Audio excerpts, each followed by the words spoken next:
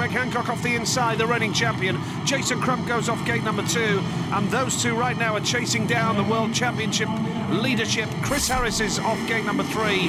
And Fredrik Lindgren off the outside in yellow. Can he make a second successive victory? And if Harris or Crump wins tonight, we'll have a fifth different Grand Prix Oh, winner that's a good in start. five meetings. And Crump has made a beauty off gate number two. He has got his gating gloves on now. Lindgren is second in yellow. Greg Hancock third in red. Chris Harris at the back. Remember, double points count for the final. Six points for a win. And Jason Crump is looking good. If it stays like this, Greg Hancock will lead the World Championship by just two points. Crump would put himself right in contention. Fabulous start out of gate two from Jason Crump. Unsettled uh, Hancock going to the first corner.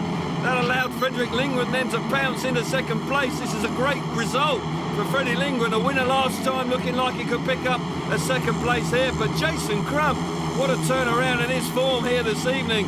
Three points from his first three rides, looking like he could be the big winner on the night. It's looking like a 23rd Grand Prix win of his career in 76 finals. Jason Crump is looking good for six big points, a fourth straight race win, and he wins the Dansk Metal Danish Speedway Grand Prix for the fourth time in Parken. He loves this place. Jason, you probably don't need reminding, but Leszno 2010 was the last time we had a chat like this. How do you feel right now?